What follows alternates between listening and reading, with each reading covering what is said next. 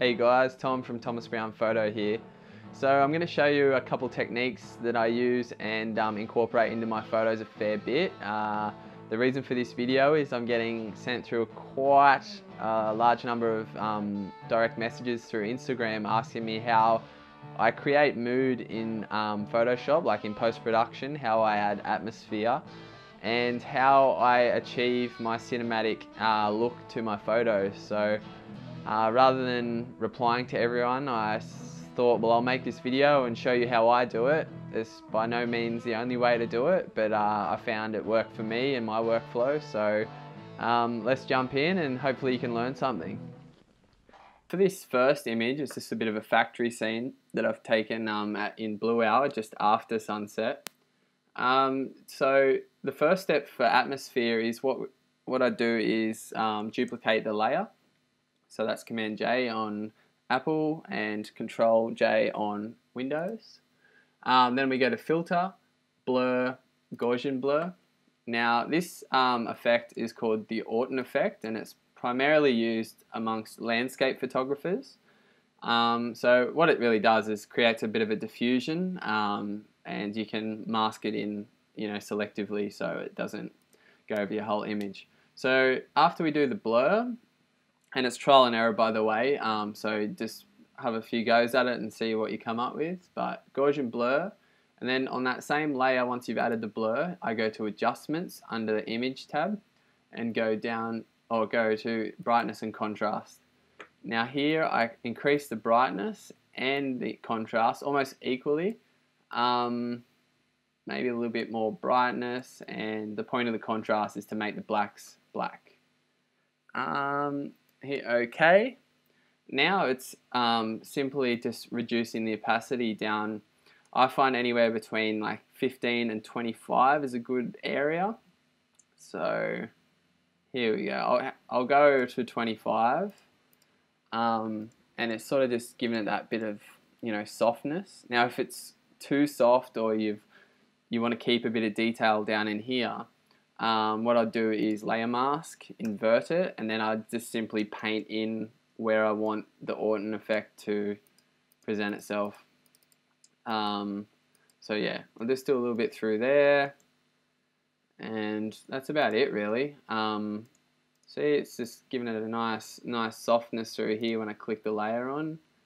Um, yeah, Okay, so the second step, and this is the one that everyone wants to know, is how do I get my shadows to look consistently the same um, with that cinematic blue tonality?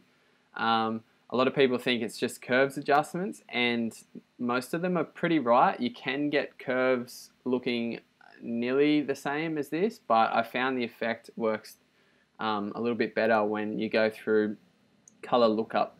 Now, every um, version of Photoshop or recent version of Photoshop's got this. I think anything from CS6 through. Um, so color lookup, and then you open up the properties um, of the color lookup layer, and in here you'll find all these great looks um, which you can experiment with. But the one I go to is in the abstract um, drop down box, and it's sienna blue. And basically, what it does is it gives you that flat blue throughout the shadows, and it almost does a bit of a yellow tinge to the highlights. And sometimes that's fine, but I like to retain my original midtones and highlight colors whilst getting this cinematic blue sort of shadow fall off. So to combat that, I double click on that layer and I use the blend if um, portion of this layer style palette and I simply just grab these handles and I move it along which, which reveals the original highlights on the layer below and I get to about here and then I hold option on Mac or command on Windows and then I split this handle across. So now you can see that it's kept it's kept my highlights the same color but it's still giving me that that subtle blue um, tonality in the shadows. So if I click that on and off you can see it's it's only a subtle difference but that guys is majority of my Instagram account, um, that's what I'll finish on is that color lookup table, sienna blue, and then I'll tweak tweak it with the blend if feature just to get my um, my original highlights coming through. So the next one is a photo out of my regional moments book. Um, it's just an old service station um, at sunset or a few minutes after sunset, bit of color in the sky. Um, so I'm not going to add the Orton effect to this because I don't feel like it needs it. Um, so once again, color lookup table, and then I just go to the properties for that layer and go abstract profiles um, and select sienna blue in the drop down. Uh, and as you can see, it's given me that nice flat blue sheen for the shadows, um, but it's changed my sky and I didn't necessarily want that.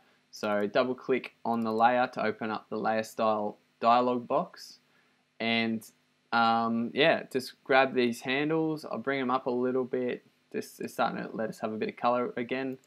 And then I hold option and split that handle um, and that will reveal majority of the original sky color. And like I said earlier, it's personal preference, what you like, but um, generally I like to use this blend, blend if feature just to give me my, my sky colors whilst maintaining the cool cinematic blue shadows. Um, so that's that one. And here's another one um, which a lot of you will probably find most interesting. And this treatment that I've just sort of showed you with the Orton effect and the color lookup table, they tend to work best on pictures with completely black backgrounds. So how you achieve that, um, you know, there's a few ways to do that, um, and there's a few ways to do, do, that in post where you can mask out your subject and paint in a black background um, because the color lookup table, especially the sienna blue profile, will work best on completely black surfaces. Um, as you can see there, it's just giving us this really cool look. Um, so I'll double click. I just want to get rid of this yellow because it wasn't like that um, bring up these sliders about halfway and then I'll split it holding option and then just to reveal some of the original colors and it's good when you do the blend if um, and you split it like that it gives you a nice happy medium I found where you've your blacks aren't crushed anymore it sort of lifted them up into this nice cinematic feeling um, image and that's how I go about it Alright guys, so that was it. Uh, hopefully you picked up a couple tricks and techniques. Um, yeah, so the Orton effect, by no means is it a new thing. It's um, used, probably used too often in landscape photography, um, but it works just as well for sort of cinematic, contemporary sort of um, images. And the color lookup tables, I highly recommend you go through and check out um, all the other ones in the in the drop down box. There's some really cool looks in there. Uh, I'm going to make more of these videos, so if you've got any questions on post-processing, um, like in Photoshop or um, camera gear related questions, uh, send them through and I'll try and answer them in a video. Um, so hit subscribe and if you're not already, follow me on Instagram at Thomas Brown Photo and um, I'll see you next time. Thanks.